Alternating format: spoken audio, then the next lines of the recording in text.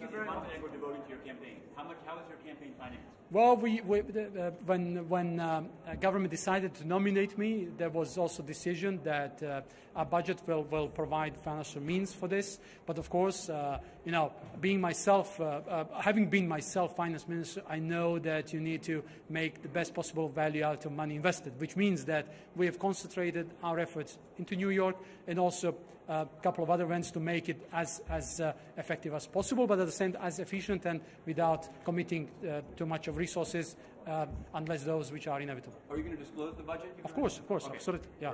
Absolutely. No, I, I couldn't be I couldn't be advocate of transparency, and I was as prime minister. I was one of the advocates of transparency without committing to uh, disclose all the money we've spent uh, on on trips abroad, uh, all the events I've attended uh, uh, in in conducting this campaign. Thank you all. Thank you, folks. Thanks.